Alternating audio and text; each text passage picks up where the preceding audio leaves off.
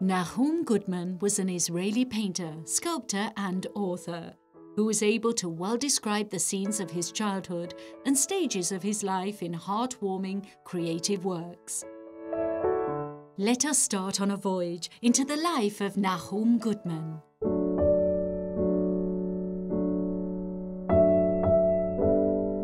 All the works are from the collection of the Nahum Gutman Museum, located at Beit HaSofrim in the Neve Tzedek neighborhood in Tel Aviv. Nahum Gutman was born in the village of Tel Aneshti in Bessarabia. His father was a Hebrew writer and educator who published stories under the nom de plume of S. Ben Zion. When he was five years old, he immigrated to Israel with his family. At the beginning, they lived in Neve Tzedek, the first Jewish neighborhood built outside the walls of Jaffa, but after his mother's death, they moved to the new neighborhood, which was built on the sands, Ahuzat Bait, which later became the city of Tel Aviv. Nahum Gutman depicted the first builders of the city of Tel Aviv. Gutman, who loved to paint from an early age, began during this period to study painting with the painter Ira Yan. Subsequently, he went to Jerusalem and began studying in the Bezalel School of Art. In 1917, just before the end of the First World War, the Turkish rulers expelled the Jewish residents of Tel Aviv to settlements in the Galilee and Sharon areas. He wrote about and illustrated his memories of this period in his book entitled The Orange Peel Trail. During the period of the British Mandate, Nahum Gutman volunteered for the Jewish Brigade and served in the British Army as a guard in a camp for Turkish prisoners of war in Egypt.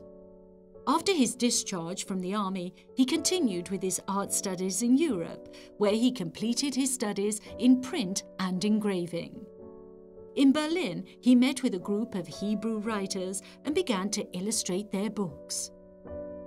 The first book given to him to illustrate was of the poet Chaim Nachman Bialik, who was a friend of his father and had identified Nahum's talent during his childhood. He returned to Israel in 1926 and was part of a group of artists that created the Eretz Israel style. The subjects of the works were the land of Israel, its scenery, and its people, the emphasis being placed on the stark colours and the bright light of the country. In the 1930s, Nahum Gutman began to design scenery for plays. In addition, he was appointed to the position of the regular illustrator of the children's Devar supplement. During that period, Gutman was sent to South Africa. He sent illustrated stories to Children's Devar from his journeys in the African continent in which he added and developed an imaginary adventure story in the African jungle. The story of Gutman's first book was derived from these reports and was called In the Land of Lobengulu, King of Zulu. 1948, the Israeli War of Independence.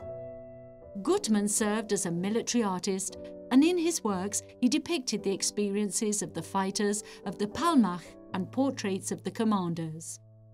His book, as We Were was subsequently published in which he depicted the fighters. In the 1970s, Gutman started to work with clay. His ceramic sculptures are always based on the shape of the hollow pot. Here also, he continued dealing with the Oriental figures that he loved, with biblical heroes and characters from the first days of Tel Aviv. Nahum Gutman won many prizes for his literary work and contribution to Israeli illustrated works.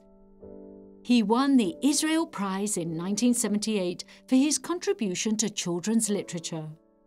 Nahum Gutman died in Tel Aviv on November 28, 1980, aged 82. Shortly before his death, the author and researcher Ehud Ben Ezer was able to record from him the story of his life. The story was published under the title Sun Dunes and Blue Sky.